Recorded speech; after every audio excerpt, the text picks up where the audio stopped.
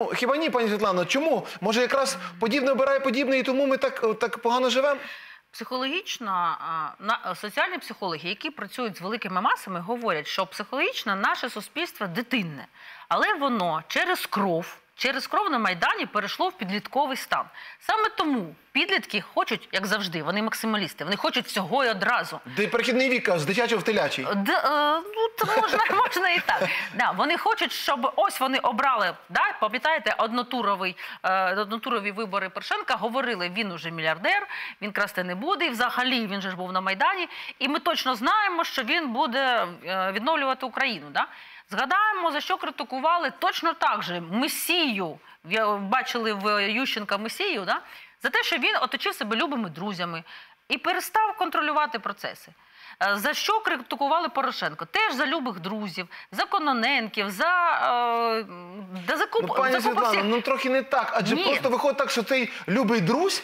Чи любі друзі, вони просто з одної влади на іншу, вони так, як знаєте, як пиявки. Той самий, наприклад, і Порошенка чи, чи Тимошенко. Вони перекочували е, спочатку, навіть Порошенко, наприклад, він спочатку був один з засновників партії там регіонів. Регіон, Е, ні, спочатку е, соц- соціал-демократи О.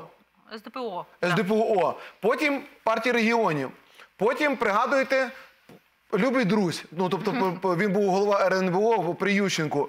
Е, Потім Руслане, і всі наші глядачі, запам'ятайте, люди, які роблять в Україні бізнес, завжди будуть з владою. Тому не дивуйтеся, що спочатку вони були з Медведчуком, потім вони, бо це була тоді влада. Це був, був голова адміністрації президента Кучми.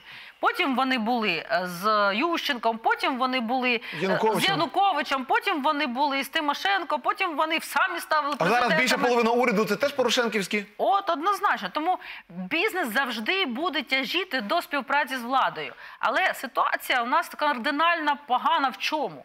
Якщо будемо порівнювати зараз Російську Федерацію, в Росії влада призначає когось а, м- мільйонером чи мільярдером і контролює цей процес. В Україні навпаки, бізнес, а він дуже часто, якщо ми подивимося коріння і як він набувався, той бізнес, абсолютно криміналізований.